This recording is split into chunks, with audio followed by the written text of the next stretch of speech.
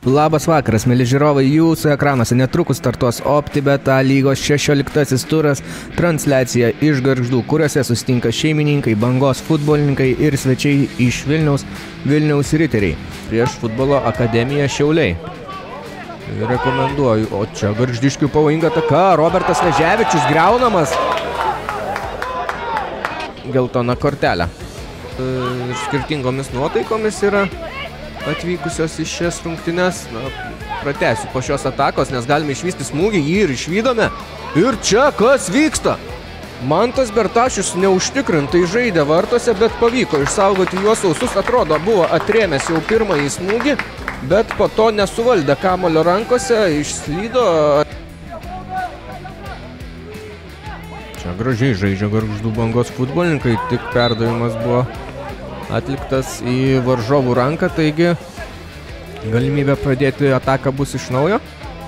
Ir riterių komandos strategas ginčiasi ir e, rungtynių teisėjas parodo geltoną kortelę atsarginių žaidėjus vienam žaidėjui.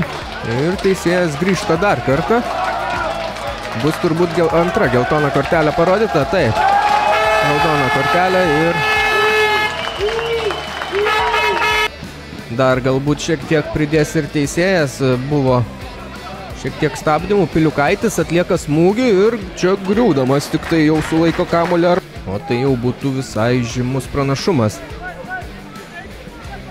Juolab, jog devintoji vieta čia pavojingas smūgis.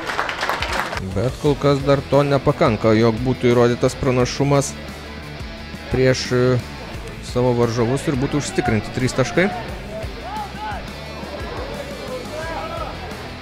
Čia įkrenta pirmasis rungtynių įvartis, įmuša jį Vilniaus riteriai ir įmuša Rokas Filipavičius. O Dutajo čia buvo su kamoliu, pamatė į, įbėgantį Filipavičių ir šis likęs vienas prieš vartininką pasiunčia jį į dešinį vartų kampą.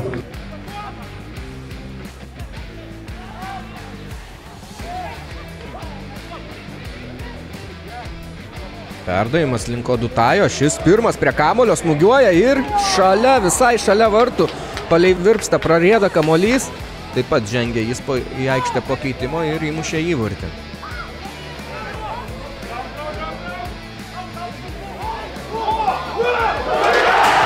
Įmuša garždų banga įvartį ir visas garždų miesto stadionas kyla į viršų, emocijos e, ima viršų.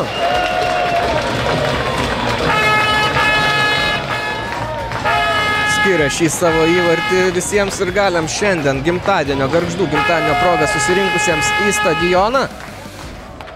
Eduardo kovojo iki galo, išmušė kamolį ir Ignas Venskus, taip. Rimpa pasitaiso batelį, o garždų banga nieko nelaukdama pradeda ataką. Robertas Veževičius ten kovoja dėl kamolio, nesuspėjo pirmasis prie kamolio. Viskas, rungtynės baigtos, rezultatas 1-1, kovingos lygiosios.